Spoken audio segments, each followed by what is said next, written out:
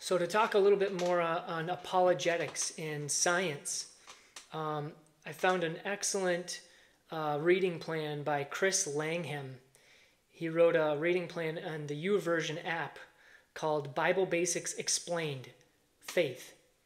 Right, because because many atheists will attack the credibility of the Bible. Genesis is one of their favorite places uh, to critique because you know if you believe in evolution, how can you believe in the God of the Bible that created everything.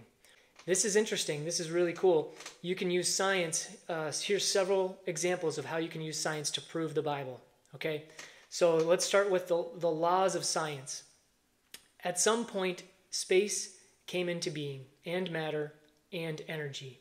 Conservation of mass. This is a scientific law. Matter can neither be created nor destroyed.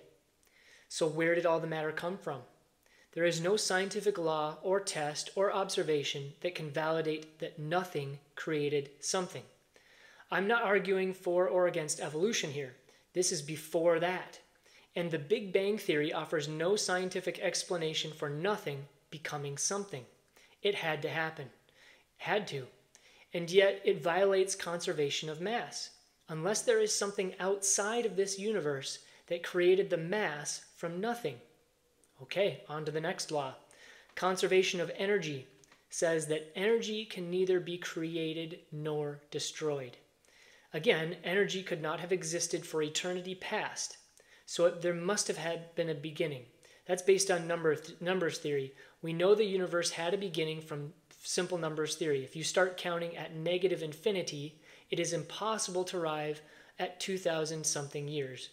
So there must be a start. At some point, time began. So, going back to the conservation of energy, uh, the Big Bang offers no scientific explanation for nothing creating energy. It had to happen, and yet it violates the con- conservation of energy, unless something outside the universe created the energy from nothing. Next law entropy. The second law of thermodynamics tells us that order cannot come from disorder in a closed system all things naturally move towards disorder. For example, things decay, they break down over time.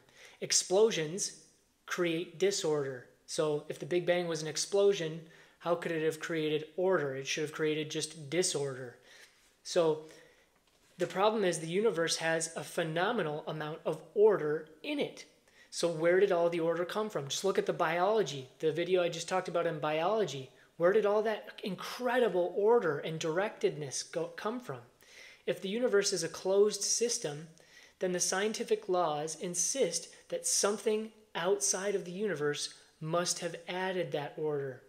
So, in order to be an atheist and still believe the laws of science, laws of science, then you must believe that the major scientific laws were broken at some point in time by nothing. For the atheist, nothing created time, space, matter, energy, and order. Now, science does not lead you to that conclusion. Scientists may say that, but science itself does not lead you to that conclusion. That conclusion violates scientific law. So, believing it requires faith, which is why Frank Turek is saying it takes more faith to be an atheist than it does to believe in God and creation. That that it would be faith in nothing. You would be saying you have more faith in nothing than you do in everything that we're seeing here. What if you trusted the scientific laws? Well, they all tell you that time, space, matter, energy, and order must come from something. They cannot create themselves. However, there is nothing in the known universe that can create them. So it would require something outside the known universe to create them. Now let's consider Genesis 1, verse 1. In the beginning, God created the heavens and the earth. The beginning, that means time. God created time. God, something outside of the universe. Created, the word in Hebrew literally means to make something from nothing. The heavens, which could be seen as space, and the earth, which is matter. So God, outside of the universe, created time, space, matter, and energy because that's what happened next. In Genesis 1, verse 3, God said, Let there be light. That's energy. And the very next thing he said was he separated the light from the darkness. That's order. So here you have time, space, matter, energy, and order.